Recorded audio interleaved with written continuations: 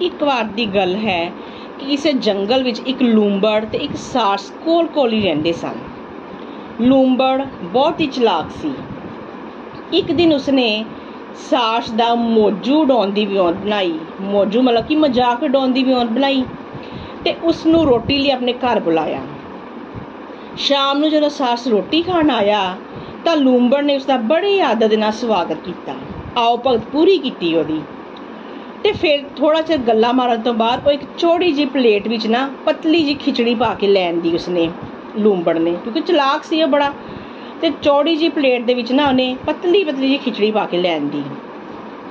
ਲੂੰਬੜ ਦਾ ਫਟਾਫਟ ਚੱਟੀ ਜਾਵੇ, ਦੋ ਪਲੇਟਾਂ ਲੈ ਕੇ ਆਂਦੀਆਂ ਉਹਨੇ, ਇੱਕ ਆਪਣੇ ਵਾਸਤੇ ਤੇ ਇੱਕ ਉਹਦੇ ਵਾਸਤੇ, ਸਾਰਸ ਵਾਸਤੇ। ਲੂੰਬੜ ਆਪ ਤੇ ਫਟਾਫਟ ਚੱਟੀ ਜਾਵੇ। ਪਰ ਸਾਰਸ ਸਾਰਸ ਵਿਚਾਰੇ ਦੀ ਚੁੰਝ ਲੰਬੀ ਹੋਣ ਕਰਕੇ ਸਾਸ ਪਲੇਟ ਉੱਤੇ ਠੁੰਗੇ ਮਾਰਨ ਤੋਂ ਸਵਾ ਹੋਰ ਕੁਝ ਵੀ ਨਾ ਕਰ ਸਕਿਆ। ਠੁੰਗੇ ਵੀ ਕਿੰਨੇ ਕੋਨੇ ਮਾਰਨੇ ਸੀ? ਠੁੰਗੇ ਵੀ ਮਾਰਦੇ ਸੀ ਤੇ ਪਤਲੀ ਖਿਚੜੀ ਸੀ, ਉਹਦੇ ਚੁੰਝ ਚ ਜਾਂਦੀ ਨਹੀਂ ਸੀ ਪਈ। ਉਸ ਦੇ ਪੱਲੇ ਕੁਝ ਵੀ ਪੈ ਨਹੀਂ ਸੀ ਰਿਹਾ ਸਾਰਸ ਦੇ। ਸਾਰਸ ਜਿਹੜਾ ਵਾ, ਉਹ ਲੂੰਬਣ ਨੂੰ ਦੇਖੀ ਜਾਇਆ, ਦੇਖੀ ਗਿਆ ਵੀ ਇਹਨੇ ਮੇਰੀ ਆਉਪਗਤ ਕੀਤੀ ਹੈ ਕਿ ਮੇਰਾ ਮਜ਼ਾਕ ਡਾਉਣ ਵਾਸਤੇ ਮੈਨੂੰ ਘਰ ਰੋਟੀ ਦੇ ਉੱਤੇ ਬੁਲਾਇਆ ਏ। ਮਨ ਚ ਦੇ ਫੁਰਨੇ ਸੋਚਦੇ ਰਹੇ।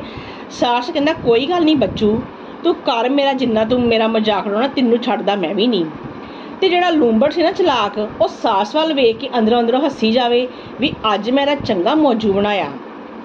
ਵੀ ਘਰ ਵੀ ਇਹਨੂੰ ਮੈਂ ਆਪਣੇ ਬੁਲਾ ਲਿਆ ਰੋਟੀ ਵਾਸਤੇ, ਮੇਰਾ ਨਾਮ ਵੀ ਬਣ ਕੇ ਮੈਨੂੰ ਰੋਟੀ ਵਾਸਤੇ ਬੁਲਾਇਆ ਤੇ ਇਹ ਕੋ ਖਾਦਾ ਵੀ ਕੁਛ ਨਹੀਂ ਜਾਂਦਾ। ਉਹ ਆਪਣੇ ਵੱਲੋਂ ਖੁਸ਼ ਹੋਣ ਗਿਆ ਸੀ ਲੂੰਬੜ।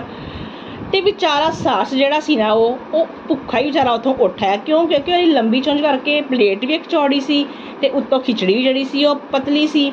ਉਹ ਵਿਚਾਰੇ ਉਹਦੀ ਚੁੰਝ ਚ ਆਇਆ ਹੀ ਨਹੀਂ ਕੁਝ ਵੀ। ਵਿਚਾਰਾ ਭੁੱਖਾ ਹੀ ਜਿਹੜਾ ਨਾ ਉਹ ਲੂੰਬੜ ਦੇ ਘਰੋਂ ਉੱਠ ਆਇਆ। ਰਸਤੇ ਵਿੱਚ ਉਸਨੇ ਲੂੰਬੜ ਨੂੰ ਕੋਲ ਨਾ ਬਦਲਾ ਲੈਣ ਲਈ ਵਿਅਕਤਾਂ ਸੋਚੀ ਗਿਆ ਸੋਚੀ ਗਿਆ ਵੀ ਮੈਂ ਇਹਨੂੰ ਛੱਡਣਾ ਨਹੀਂ ਹੈਗਾ। ਚਾਰ ਪੰਜ ਦਿਨ ਬੀਤੇ, ਚਾਰ ਪੰਜ ਦਿਨਾਂ ਤੋਂ ਬਾਅਦ ਉਸ ਲੂੰਬੜ ਨੇ ਨਾ ਲੂੰਬੜ ਨੂੰ ਰੋਟੀ ਖਾਣ ਵਾਸਤੇ ਸਾਰਸ ਨੇ ਵੀ ਆਪਣੇ ਘਰ ਬੁਲਾ ਲਿਆ। ਕਹਿੰਦਾ, ਮੈਂ ਵੀ ਇਹਨੂੰ ਬੁਲਾਉਣਾ ਉਹ ਨਿਉਤਾ ਦੇਣ ਗਿਆ ਲੂੰਬੜ ਨੂੰ ਸਾਰਸ। ਕਹਿੰਦਾ, ਅੱਜ ਭਰਾਵਾ ਮੇਰੇ ਘਰ ਰੋਟੀ ਹੈਗੀ ਹੈ ਤੇ ਤੂੰ ਖਾਣ ਵਾਸਤੇ ਜ਼ਰੂਰ ਆਈ। ਲੂੰਬੜ ਜਿਹੜਾ ਹੈਗਾ, ਉਹਦੇ ਅੱਗੇ ਜੀਭ ਦਾ ਰਸਿਆ ਪਿਆ ਸੀ। ਉਹ ਜੀਭ ਨੂੰ ਸਵਾਰਦਾ ਹੋਇਆ ਕਹਿੰਦਾ ਕੋਈ ਗੱਲ ਨਹੀਂ ਮਿੱਤਰਾ, ਮੈਂ ਸ਼ਾਮ ਨੂੰ ਤੇਰੇ ਘਰ ਪਹੁੰਚਿਆ ਹੀ ਪਹੁੰਚਿਆ ਸਾਰਸ ਵੀ ਅੱਗੋਂ ਜਿਹੜਾ ਸੀ, ਉਹ ਕਹਿੰਦਾ, ਮੈਂ ਤੈਨੂੰ ਛੱਡਣਾ, ਮੈਂ ਵੀ ਨਹੀਂ ਹੈਗਾ। ਸਾਰਸ ਨੇ ਕੀ ਕੀਤਾ?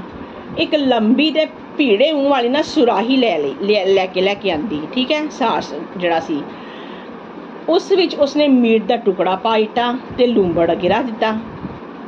ਹੁਣ ਲੂੰਬੜ ਦੇਖੇ ਤਾਂ ਠਾ ਵੀ ਇਹ ਇੰਨੀ ਕਿ ਜਿਹੜੀ ਸਰਾਈ, ਭੀੜੇ ਮੂੰਹ ਵਾਲੀ ਸਰਾਈ ਆ, ਉਹ 'ਚ ਨੇ ਮੀਟ ਦਾ ਟੁਕੜਾ ਪਾਇਆ ਹੋਇਆ। ਮੈਂ ਕਿੱਦਾਂ ਆਪਣੀ ਜੀਭ ਜਿਹੜੀ ਵਿੱਚ ਵਾੜੂੰਗਾ? ਮੇਰਾ ਤੇ ਮੂੰਹ ਨਹੀਂ ਵਿੱਚ ਵੜਨਾ, ਮੇਰੀ ਜੀਭ ਤੇ ਪਿੱਛੇ ਗਈ, ਮੇਰਾ ਤੇ ਮੈਂ ਕਿੱਦਾਂ ਇਹਨੂੰ ਮੇਰਾ ਤੇ ਕੁਝ ਵੀ ਨਹੀਂ ਅੰਦਰ ਵੜਨਾ ਹੈ, ਉਹਦੇ ਭੀੜਾ ਹੀ ਬੜਾ ਹੈਗਾ ਤੇ ਮੈਂ ਕਿੱਦਾਂ ਇਹਨੂੰ ਖਾਊਂਗਾ? ਉਹਨੂੰ ਆਪਣਾ ਜਿਹੜਾ ਨਾ ਸੀ ਨਾ ਅੱਖਾਂ ਜਿਹੜਾ ਸੀਨ ਘੁੰਮਣ ਲੱਗ ਪਿਆ ਵੀ ਮੈਂ ਸਾਰਸ ਦਾ ਕਿੱਦਾਂ ਮੌਜੂ ਬਣਾਇਆ ਸੀ, ਜਦੋਂ ਮੇਰੇ ਘਰ ਆਇਆ ਸੀ ਤੇ। ਹੁਣ ਜਿਹੜਾ ਵਾ ਸਾਸ ਜਿਹੜਾ, ਉਹ ਵੀ ਮੇਰੇ ਤੋਂ ਬਦਲਾ ਲੈਂਦਾ ਪਿਆ। ਇੱਧਰ ਸਾਸ ਜਿਹੜਾ ਸੀ, ਉਹ ਮਜ਼ੇ ਦੇ ਨਾਲ ਚੁੰਝ ਪਾਉਂਦਾ ਸੁਰਾਈ ਵਿੱਚ ਤੇ ਨਾਲੇ ਮੀਟ ਦਾ ਟੁਕੜਾ ਕੱਢਦਾ ਨਾਲੇ ਖਾ ਲੈਂਦਾ। ਫਿਰ ਚੁੰਝ ਪਾਉਂਦਾ ਸੁਰਾਈ ਵਿੱਚ, ਮੀਟ ਦਾ ਟੁਕੜਾ ਖਾਂਦਾ, ਉਹਦੇ ਸਾਹਮਣੇ ਹੀ ਲੂੰਬੜੇ ਦੇ ਨਾਲੇ ਖਾਈ ਜਾਂਦਾ। ਤੇ ਚਲਾਕ ਜਿਹੜਾ ਲੂੰਬੜ ਹੈਗਾ ਸੀ ਨਾ, ਕੋਲ ਬੈਠਾ, ਝੂਰੀ ਜਾਵੇ। ਉਹ ਕਹਿੰਦਾ, ਮੈਂ ਅੱਜ ਨਹੀਂ, ਅੱਜ ਕੁਝ ਵੀ ਖਾ ਸਕਦਾ। ਜੋ ਮੈਂ ਕੀਤਾ ਸੀ, ਉਹੀ ਮੈਂ ਕਰ ਲਿਆ, ਉਹੀ ਮੈਂ ਪਾ ਲਿਆ। ਹੁਣ ਚਲਾਕ ਲੂੰਬੜ ਭੁੱਖਾ ਬੈਠਾ ਆਪਣੀ ਜਿਹੜੀ ਕਿਸਮਤ ਨੂੰ ਰੋਣ ਦਿਆ ਸੀ, ਝੂਰਦਾ ਪਿਆ ਸੀ, ਇਸ ਤਰ੍ਹਾਂ ਲੂੰਬੜ ਨੇ ਉਸ ਤੋਂ ਬਦਲਾ ਲੈ ਲਿਆ ਤੇ ਇਸ ਤੋਂ ਕਹਾਣੀ ਕੀ ਬਣੀ? ਕਹਾਣੀ ਜਿਹੜੀ ਆ ਉਹਦੀ ਸਿੱਖਿਆ ਕੀ ਬਣੀ? ਅਦਲੇ ਦਾ ਬਦਲਾ ਜਿਹਾ ਤੁਸੀਂ ਕਿਸੇ ਨਾਲ ਕਰੋਗੇ, ਤੁਹਾਨੂੰ ਉਹੀਓ ਤੁਹਾਨੂੰ ਜਿਹੜਾ ਵਾ ਅੱਗੋਂ ਜਿਹੜਾ ਰਿਵਰਸ ਤੁਹਾਨੂੰ ਮਿਲ ਜਾਏਗਾ।